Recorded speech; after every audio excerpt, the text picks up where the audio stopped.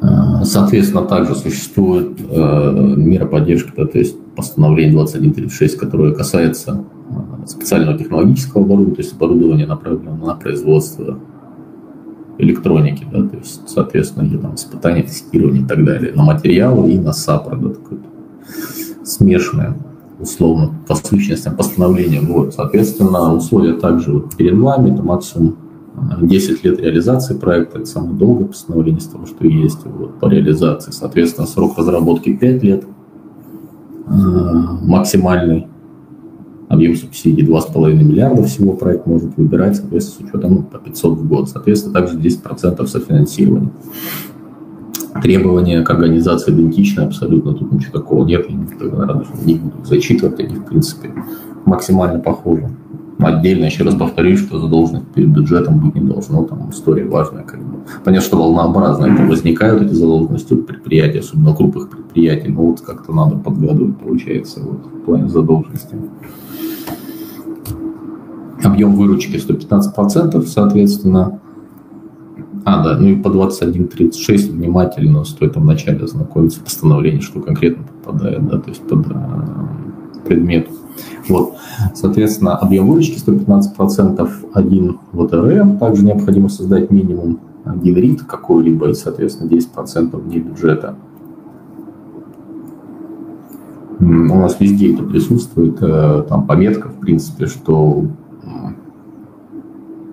выручка, тут она, выручка, в принципе, экспортная выручка, да, то есть э, она засчитывается только на продукцию, которую конкретно на старте вы заявили для разработки. Очень часто бывает, что а, некорректно сформулированы изделия, да, то есть которые или линейка изделий, которые будут выпускаться, а, и аудитор, да, то есть с которым мы там тоже пообщаемся там, а, с коллегами э, у нас завтра. Он просто начинает путаться, то ли, ту ли продукцию вы там отчитываетесь продажами или это что-то другое. Да? То есть поэтому именно э, название продукции, которое будет фигурировать по ходу всех документов проекта, да, то есть соглашение и так далее, приложение к соглашению, она должна быть максимально э, идентична тому, что потом будет продаваться. Соответственно, статьи затрат также перед вами, они тоже максимально похожи а, с стримятом 1252. Есть некоторые отличия, да, то есть тут есть определенное нормирование по субподрядчикам, не более 60%. Соответственно, есть возможность провести а, патентное исследование в соответствии с ГОСТ, тоже истории компенсировать. Вот, тут а, в этом постановлении важно обратить внимание на нормирование Э, заработной платы по кодам. А Яков, два слова скажите, пожалуйста, про это.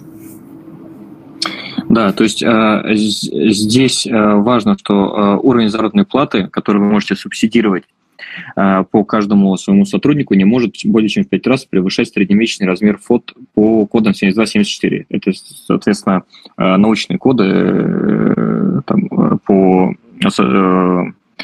осуществлению научной деятельности. Вот, что это означает? Что, условно говоря, если там средний э, размер фот э, по этому коду там 50 тысяч рублей, то максимальная зарплата, которую вы можете субсидировать, 250 тысяч рублей. При этом, если как бы зарплата у человека больше, она как бы может быть больше, но вы ее тогда должны будете платить исключительно за счет собственных средств. И как бы вот именно вот э, такой подход будет внедрен, скорее всего, в новой редакции 109 постановления и, скорее всего, 1252 тоже. В целом, как бы все Э, субсидии будут переходить примерно на такое правило определения предельного размера фонда оплаты труда. Да, да, это, это крайне важный момент, как бы за него ну, отметить, посмотреть, особенно если ну, группа разработчиков дорогая, ну, бывает, что весьма дорогая, да, как мы там, видели недавно у одних коллег, да, которые участвовали в этом постановлении, соответственно. Вот эту историю надо заранее планировать, потому что ну, если это не учесть, да, то есть этот объем, то можно неправильно расчет сделать фин-модели и в будущем там на ряд неприятных историй налететь, да, мы как раз про это поговорим в следующем блоке, там какие кейсы случались и так далее.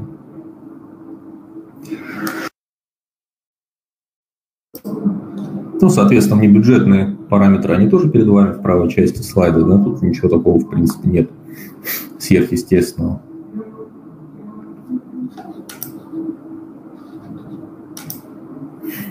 Отчетность. Также поквартальная, соответственно, сейчас э, она перед вами. Э, эти даты, соответственно, там эти штрафные санкции, но это тоже максимально похоже, на самом деле, на то, что есть в девятом постановлении. Вот. Так, коллеги, по 21.36 мы тоже краткую информацию дали, то есть какие-то вопросы по этому инструменту есть или нет? Если есть, то рады будем ответить. Правда, честно говоря, уже прием заявок закончен в этом году на нее. Я не знаю, будет ли еще раз повторный конкурс по нему в этом году. Не уверен, если лимиты. А, да, есть информация, что э, летом, примерно в июне-июле, планируется еще один заход на 2136. Ну, тоже сейчас э, правила по 2136 будут немножко доработаны.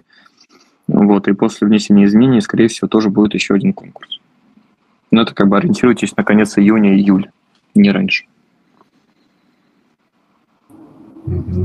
Спасибо.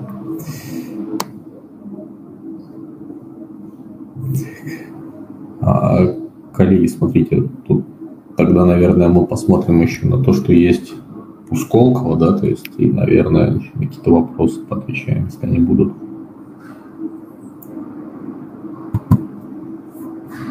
Вопрос по 2136 можно? Конечно, конечно, все равно пока презентацию сколько да, да, подскажите, пожалуйста, вот э, в презентации по 2136 у вас указано российское юридическое лицо должно э, иметь и так далее там 25% в офшорах, а в 1252 50% такой критерий. Это какая-то техническая ошибка, либо э, это разные требования в этих постановлениях? Э, это э, разные требования, связанные с тем, что ну, да-да-да, извините. Я... Да, я немножко пропал, наверное. А...